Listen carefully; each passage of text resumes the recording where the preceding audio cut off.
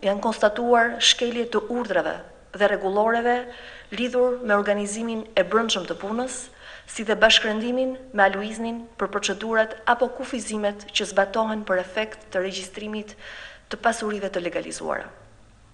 Për shkeljet e konstatuara, Taskforca Antikorrupsion ka rekomanduar dhënien e masave disiplinore vërejtje me paralajmërim për regjistruesin e ZRPP-së Lushnje si dhe për pesë specialistë të po kësaj zyre. Gjatë javëve të fundit, nga strukturat e Policisë së Shtetit janë evidentuar pesëmbëdhjetë vepra penale në fushën e korrupsionit me njëzet autorë. Sfida për modernizimin e sistemit mbetet një nga sfidat më të rëndësishme, por njëkohësisht edhe më komplekse.